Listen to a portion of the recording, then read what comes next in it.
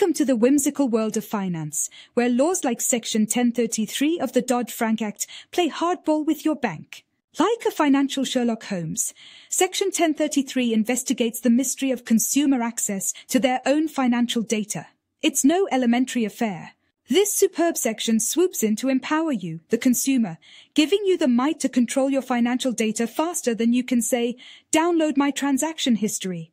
Imagine a data liberation parade where your financial information is set free, prancing down the street for you to grab it and switch banks, apps, or services.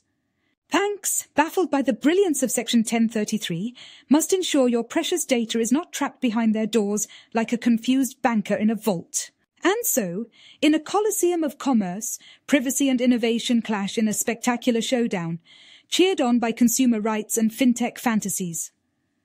In the quiet corners of this financial library that Section 1033 builds, you can read up on your rights, with each chart and graph whispering, knowledge is power.